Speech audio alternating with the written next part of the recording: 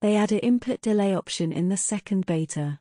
And it doesn't matter if it's on or off, the same thing still happens.